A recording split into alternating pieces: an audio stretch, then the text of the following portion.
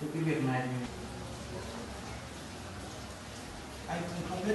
Đó thì tính từ ngày 28 ngày 4 này cái tiền à, cái tiền ra cái tiền thắng thua đó thì là không phải em được ví dụ như em thì cũng ăn thầu trong đó một hai hai phép thì em chỉ được tí đi thôi ví dụ như là ví dụ người ta được à, bốn nghìn đô mà em ăn thầu lúc hai hai giá thì em được tầm tám trăm nghìn thôi.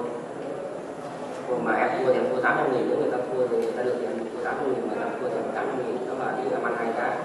ta ăn thì nào người ta ăn to thì em to mình ăn to mình to chứ không phải là cứ người ta mình.